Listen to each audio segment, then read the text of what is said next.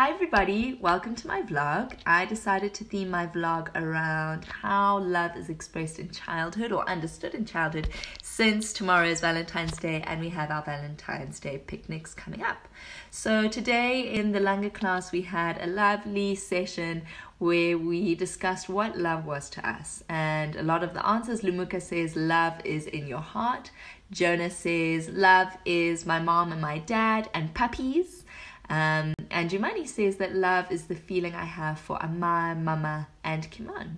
And what we can see from these answers is that a lot of the children understand love in terms of an emotion that they feel towards a loved one, a parent, a sibling, an animal, and that they also understand love in terms of the emotions that, that their loved ones show to them.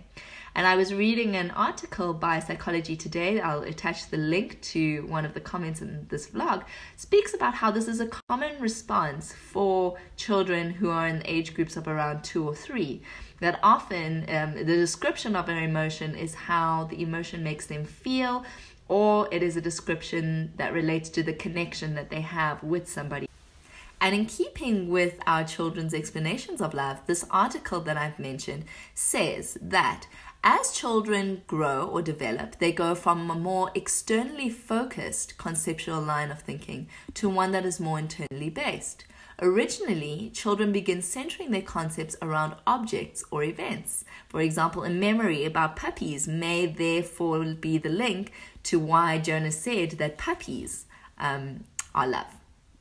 And what's interesting about this is what we often see is that as children get older, instead of defining an emotion around an, um, a memory of a feeling or, or a more conceptual idea, they begin to define emotions in terms of how these emotions are demonstrated. So in this article, one of the children who is five or six who they asked about love, says that how uh, love is helping one another, love is showing kindness to one another. And we can see that as children mature into that age group of around um, five or six, they begin to see how certain people express their emotions.